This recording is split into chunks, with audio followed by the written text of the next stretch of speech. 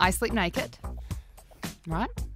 So I woke up in the middle of the night, busting to go to the bathroom, busting to pee. Get to the bathroom, and I don't want to turn the lights on because in my head, as soon as I turn the light on and see light, I start waking up a bit. I leave it off, walk on over, turn around, squat down, and just keep falling and falling until there's freezing cold water all up my ass, and I get stuck in the toilet because he didn't put the bloody toilet seat back down for me.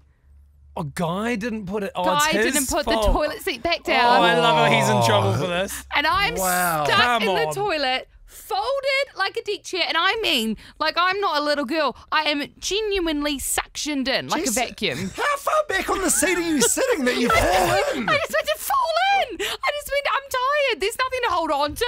My bloody knees are at my nose, and I'm stuck.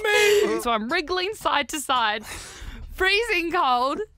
Your porcelain is never you- nice in the middle of the Did you night. did you touch the water? Yes, I'm touching the water. Wow, you're really stuck What- in I'm how really how there. high is your water level? Maybe the water I'm just trying to imagine high. my toilet, and this doesn't seem feasible. I managed to like release the vacuum and See, when my thigh like gets unattached to the porcelain and uh, you know, squeeze myself out, put the seat down, do my business and Have a shower. yeah, please tell me you showered before going back to bed. Gross. Sleep and naked with your dripping wet body. Your partner guy was the last to use it. You said he left the seat up. Mm. Did he flush after he went? Who knows? We've spoken about this it's too dark. gross.